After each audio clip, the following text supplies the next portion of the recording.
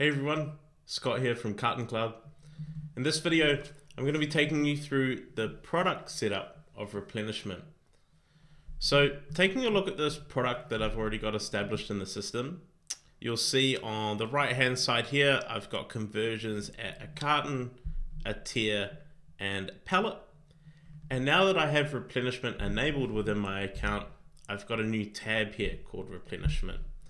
So if we take a look at that You'll notice initially replenishment is inactive for all products. Now to make them active, it's as simple as changing this to yes. And a whole suite of settings will become exposed. Now, like we talked about in the last video, we have the replenishment report logic that we looked at at the organization level. But at a product level, we can change what we've set at that organization level. By default, we'll inherit what we set there, but we do have the option to potentially do change it to default here, or more likely, you might do the overstock from sale order demand for those particular products that you're constantly having to replenish to make sure you have enough at the pick face to fulfill the open orders. Cool, so moving on, on the left-hand side of the screen here, we've got the replenishment quantity configuration. Now you'll notice something here. I haven't put in any values yet, but CartonCloud has gone and entered some predetermined values um, if I leave those fields blank. Now what's that? What that's doing is it's taking 50% of my highest unit of measure and making that my minimum. So if I re refer back to my details tab, you'll notice my highest conversion is a pallet and it's 100 cartons to a pallet. So my minimum trigger by leaving it blank is going to be 50 cartons. Now, conversely, my maximum is just my highest unit of measure. So just equals a straight full pallet. And it's designed to allow you to turn on replenishment and have to do some pretty minimal setup in order to have it start working. Um, obviously, replenishment is one of those things that it will take a little bit of time to set up. So this is all designed to try and make the, the transition from not doing replenishment to doing replenishment a little bit easier.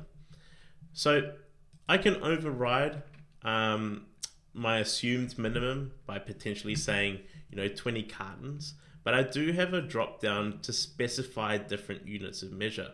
Because I'm looking at the product level, I'm always referring back to the measurement conversions on the right hand side of the details tab. So jumping back now, I might specify for this particular product that my minimum is 20. And my maximum, I'm happy with one pallet, so I can choose to leave it blank, or I can go and specify it if I want to. Now the replenishment type, uh, initially what it's set to is to max quantity. What that means is that when you hit the minimum, CartonCloud will go and specify the exact amount you need to bring it back up to the maximum quantity threshold. What that means is potentially if you when you're picking a few open cartons, it may say we want you to pick, you know, 15 full cartons and 3 units. Um, in my example, I don't have that. Um, so if the replenishment was to trip at say 20 cartons exactly, it would tell me to go and replenish 80 to bring it back up to a full pallet. But I do have some other options.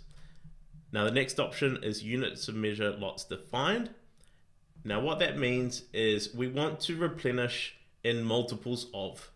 So using the same example that I did before, when you pick and when you open cartons and pick loose product, you might say, I want to replenish in multiples of one carton. To avoid that situation that when you're replenishing, you have to open cartons and grab loose units just to bring it up to the exact amount to make um, that maximum quantity. In my example, I could say I want to replenish in multiples of, of a tier. So I want to just be able to take full tiers off my pallet and, and go and top those up to my pick face locations. The third option is exact quantity defined. Now, this is useful when I trip my minimum. So again, let's say that that location had run down to 18. Regardless of, of what it's what the minimum is, I just want to replenish a full pallet every time. So if I have to replenish this product, I simply just want to go and find a full pallet within my warehouse and go and replenish it into the pick face. On the right hand side here is what locations are considered my pick face for this particular product. Now, if I type in a location, all of these options here are considered pick face locations within my warehouse. So I've gone and I've changed all those efficiencies within the platform uh, to go and change all of the locations to be pick faces. If a location is not showing in this list, but it does exist in CartonCloud, it simply means that you haven't changed the efficiencies to anything over 21. Cool, I'm just going to change this to max quantity here. Now you'll see the option to add more. Um, so you can obviously create uh, multiple pick face locations for a single product and each one of them will be treated individually with the same minimum and maximum triggers. Similarly, uh, to the left hand side, if we leave it blank, it will go and look at what pick face locations this product is currently held in and use those, or the last pick face location we saw it transact through. Um, and again, that's all in keeping with you being able to turn it on and have to do pretty minimal setup to get things going within the application. I'm just going to return that pick face back to the one that we were talking about. So further down the page, we have advanced replenishment configuration. Now, again, at the organization level settings, we were talking about we could tell the system to not take more than 50% of a pallet. But now, because we're within a specific product, the system now knows the units of measure that go along with that product. So the difference is at an organization level, we don't know that yet. So we can only talk about in terms of a percentage. So you could set a high level general rule across your warehouse, but then at an individual product level, you might say, in my example, anything more than a single tier go and take it from the from the bulk area because I don't want um, just a single pick to be taking full tiers at a time because it'll force me to replenish far too often. Now, pick face custom field restrictions. Now, obviously, we can set up um, custom fields such as expiry dates and batch numbers and things like that. And what this does is it limits how many of a single expiry date uh, can be in there. So, so what I mean is, um, it will make sure that that pick face location is only a single expiry date, being the oldest, because it will always keep uh, adhering to your stock selection methods that you've configured against the product. And it will make sure you're not getting pick faces with mixed expiry dates. So it's going to make sure that that uh, location is just a single expiry date. What that will mean though is that if you only have a single expiry date, it's the last pallet of that expiry date, the pick face will run all the way down to zero, not 20, because you've told it that you don't want to mix the pick faces with multiple expiry dates. I can do the same thing and configure it with a batch number as well, and it will operate the same way. It will operate and make sure that you've got no mixed expiry dates and batch numbers within the same location. So super powerful when you're trying to be strict in terms of your stock selection and making sure that you know your older stock is constantly going out the door first. Um, but it does have implications in terms of what's happening up the top.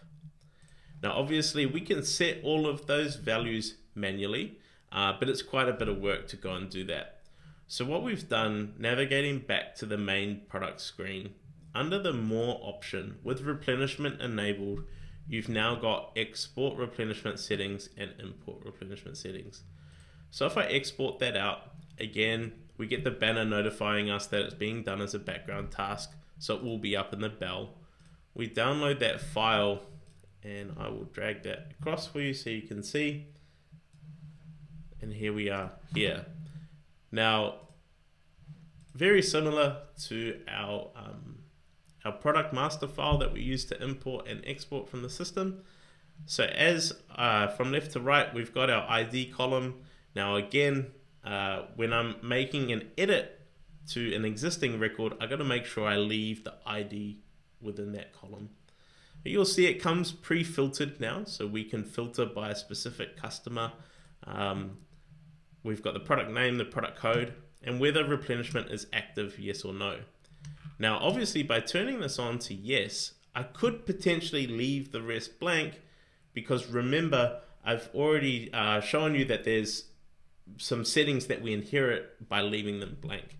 But you can go across, so you'll see that the one that I specified a minimum trigger of 20 and the unit of measure of carton, and I've done the same with the maximum and the unit of measure. I can change the replenishment type, how we're doing the replenishment in terms of what quantity is defined um, and the warehouse locations. So you'll see that all of those settings that we've just talked about are all here on this file. So you simply make the changes to that file, you would save it, and you come back to CartonCloud more and import replenishment settings. Um, and it's all designed just to help you get that initial setup done quickly. Uh, obviously, when you're doing this the first time, there's a fair amount of setup. So we've just tried to make that as easy as possible to get that going. Thanks very much.